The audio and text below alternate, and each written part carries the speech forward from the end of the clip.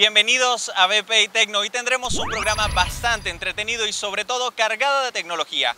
No se despeguen de nuestra señal porque la descarga tecnológica inicia en este momento.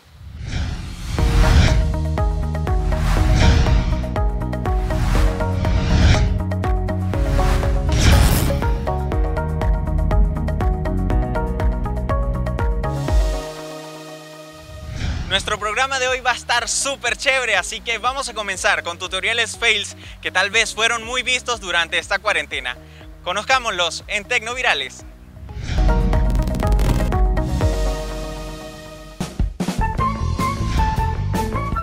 Siendo sinceros, los tutoriales nos facilitan la vida. Y si vamos a las redes sociales encontraremos muchos de ellos, pero no todo es como parece. Tras un tutorial excelente puede que existan infinidad de intentos fallidos. Vamos a ver una pequeña recopilación de virales.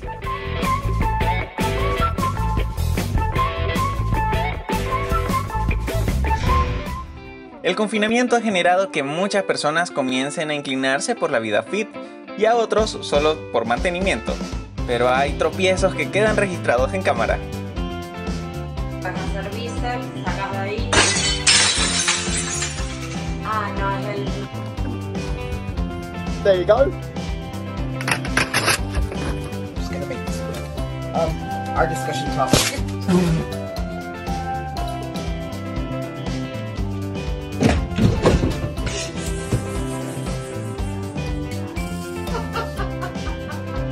En ocasiones la rutina no sale tal como uno está esperando, pero de todas maneras lo importante es divertirse y sobre todo no salir herido.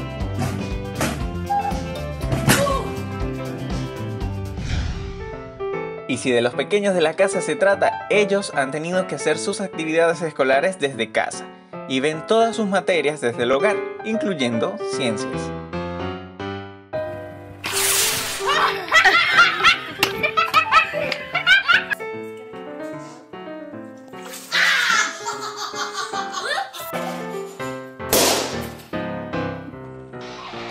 Como todo, existe la posibilidad de que uno de los experimentos no salga nada bien, como estos.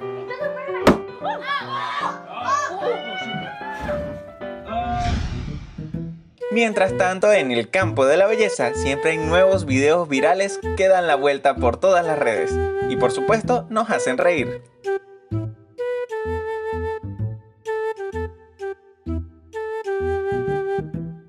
Por favor, tengan cuidado.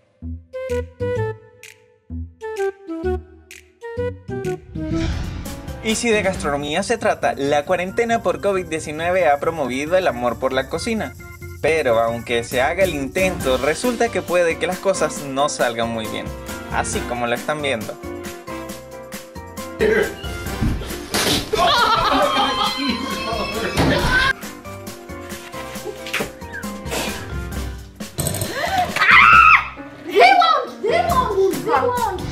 ¿Y a ti? ¿Te ha sucedido alguno de estos? Porque a mí sí. Esta fue nuestra primera entrega de virales fails que nos hacen ser un poco más cuidadosos al momento de realizarlos.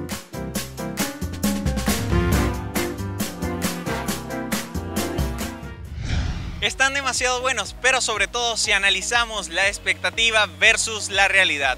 Por ahora, en cuanto a la coyuntura por COVID-19, muchos eventos y premiaciones tal vez se pensaba que no se iban a llevar a cabo, pero la realidad es que se han hecho y de forma muy tecnológica.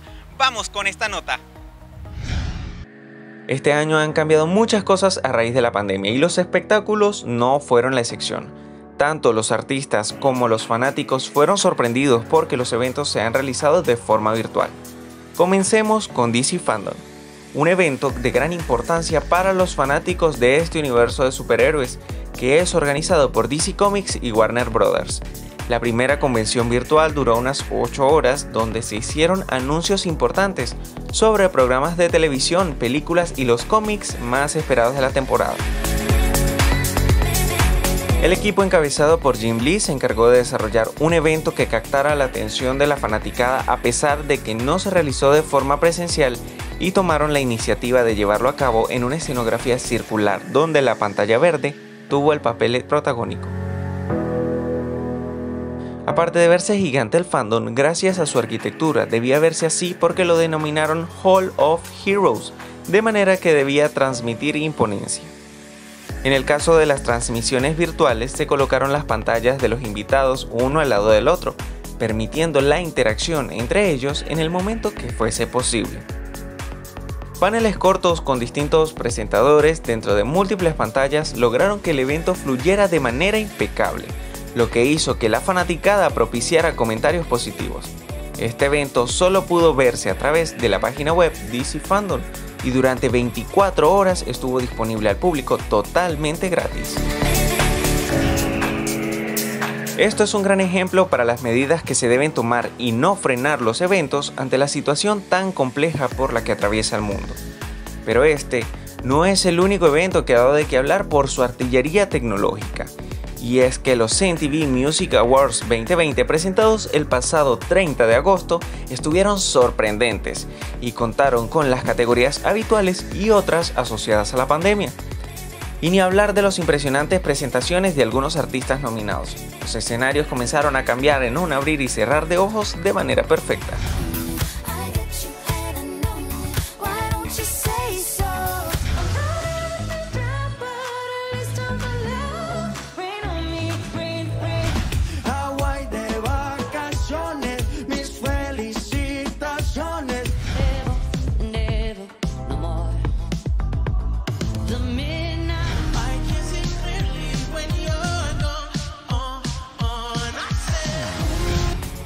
Sin embargo, el ejemplo más reciente son los Emmy, la premiación de mayor importancia para la televisión estadounidense.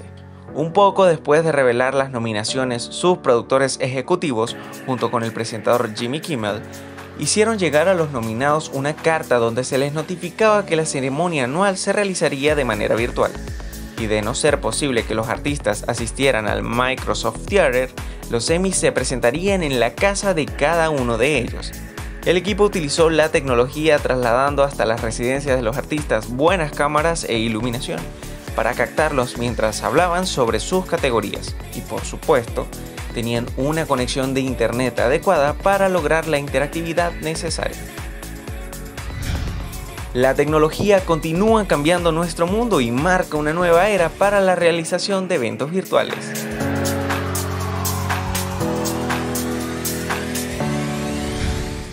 Pudieron ver, con tecnología, pero sobre todo con creatividad, se pueden hacer cosas geniales. Es momento de que hablemos de High Score de Netflix. Veamos este material.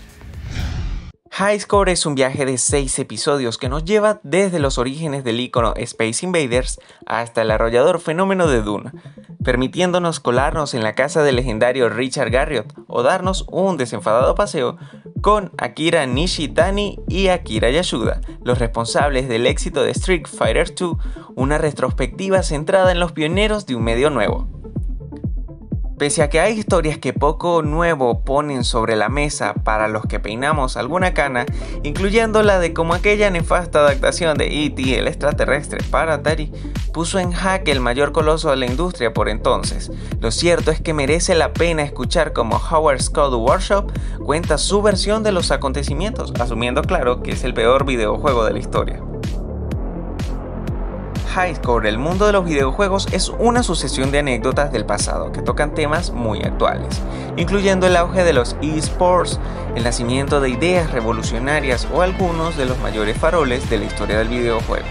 Y desde el primer minuto deja claras sus intenciones. En aquellos tiempos lo importante no era lo que estaba sucediendo en tu pantalla, sino lo que ocurría en tu mente como jugador. Como les comentaba, High Score, el mundo de los videojuegos no es una retrospectiva al uso. Es más bien una reunión entre genios que probablemente no se conozcan entre sí. Quizás hayan coincidido y probablemente hayan cerrado tratos millonarios hace décadas, pero todos ellos tienen un rol en el legado de los videojuegos.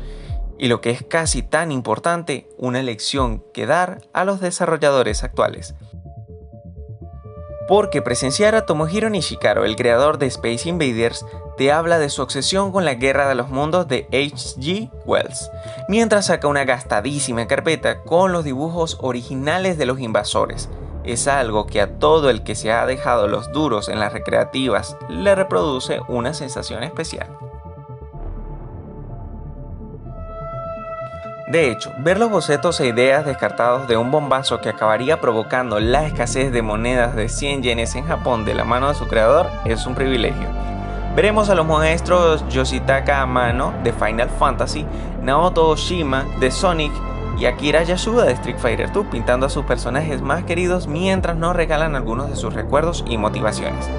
A John Tobias comiendo palomitas mientras ve una peli de Jean-Claude Van Damme y nos recuerda el nexo entre el actor belga y Mortal Kombat. Y hasta Hirosaku Tanaka, creador de algunos de los sonidos más míticos de las consolas de Nintendo pinchando música en una discoteca entre anécdotas.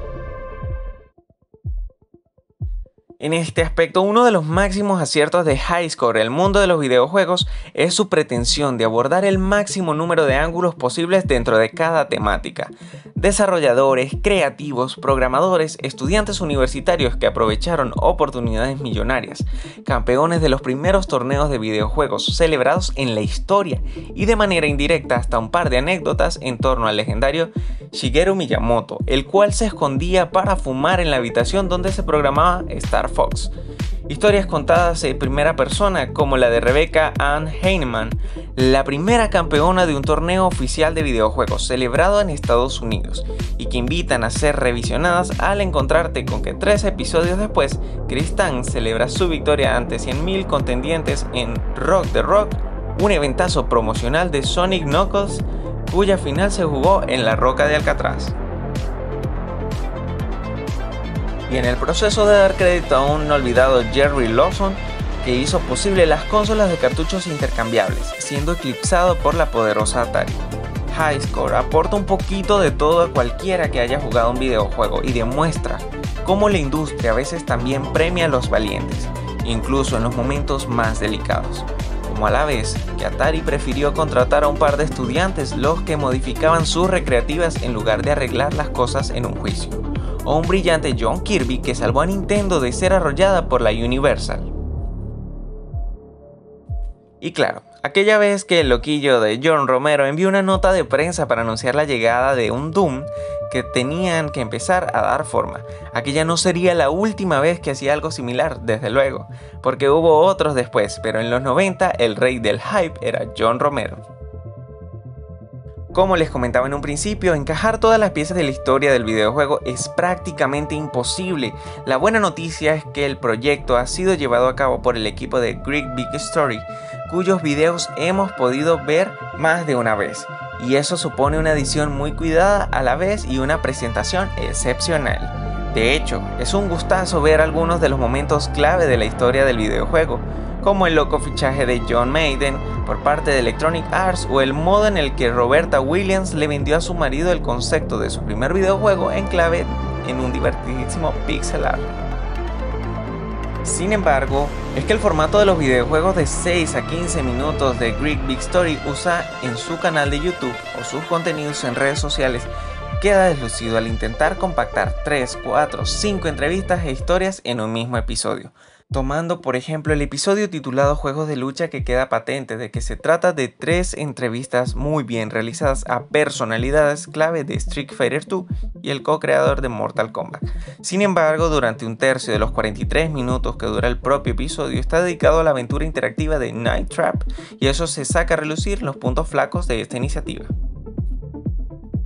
El máximo aliciente de Highscore, el mundo de los videojuegos, es como nos invitan a conocer a quienes inventaron la industria de los videojuegos. A través de sus inspiraciones y anécdotas, quizás el formato más acertado para que luciese cada historia era darle su propio video de 10 o 15 minutos, en lugar de un episodio conjunto de 40 o más.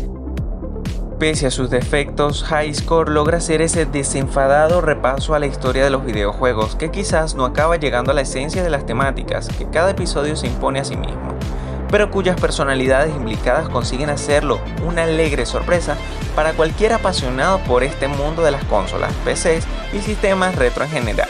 Por otro lado, la docuserie de Netflix es un ejemplo de que el que mucho abarca poco aprieta y eso supone que se han quedado muchos puntos de vista fuera, pero también otros temas que por otro lado merecen entrar en una segunda temporada en caso de que en Greek Big Story se lancen a por ello. sobre todo cuando hay tantos temas que merecen mucho más que una mención o unos minutos, incluso un episodio propio de la historia del videojuego europeo. Si bien los relatos recopilados por Great Big Story nos proponen por delante personalidades de Estados Unidos y Japón, lo cierto es que el viejo continente es uno de los grandes ausentes, sobre todo con hardware como el legendario ZX Spectrum o software como Populus de Peter Molyneux. Voy a filtrarles algo de información por si no lo han visto. Hay apariciones fugaces en High Score de la legendaria Game Boy, nos es presentada como parte del proyecto que acabaría siendo Star Fox. Sin embargo, el juego en portátiles da para ríos de tinta y no será falta por nombres la Lens Atari, la Nomad y la Game Gear de Sega.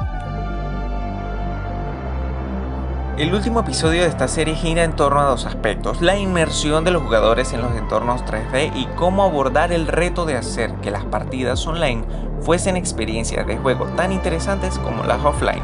Incluso se hace una interesante mención a los mods, tres aspectos que merecían un capítulo propio cada uno.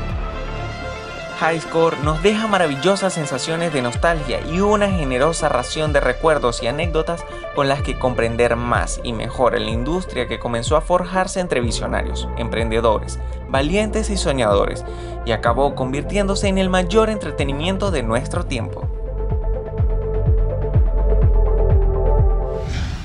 Como el confinamiento ha hecho que nos mantengamos distanciados de las personas que queremos, se han desarrollado más aplicaciones para reunirnos de forma virtual. Conozcámoslas en Tecnotendencias.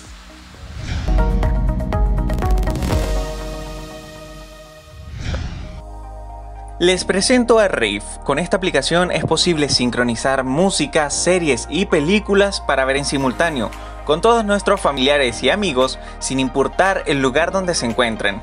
Lo mejor de todo es que esta app te permite chatear y también hacer karaoke. Además es muy fácil de usar. Creas tu cuenta, accedes y haces clic en el símbolo más, de inmediato te van a aparecer iconos de distintas plataformas y podrás escoger la de tu preferencia. Luego de que accedas a la plataforma, escoges la película y se crea de inmediato la sala. Para que tus amigos accedan es muy fácil, pues solo copias el enlace y lo compartes. Por ahora conozcamos Just Watch, una aplicación con la que sacarás provecho a cualquier plataforma de streaming que tengas. Aquí podrás seleccionar tus operadores y tus películas favoritas para que la app reconozca tus gustos y genere recomendaciones. Además, te permite señalar lo que te gusta, lo que no, y también puedes crear una lista de lo que quieres ver. Y por si fuera poco, tenemos una tercera opción. Esta es TV Time. Aquí podrás buscar tus películas y series, pero también puedes comentar e interactuar con los demás usuarios de la plataforma y lo mejor de todo es que te notifican los estrenos y no hay riesgo de spoiler. Y no solo eso, la app te genera recomendaciones tomando en cuenta todo lo que ya has visto. Son buenísimas y bastante funcionales para reunirnos y entretenernos con nuestros seres queridos.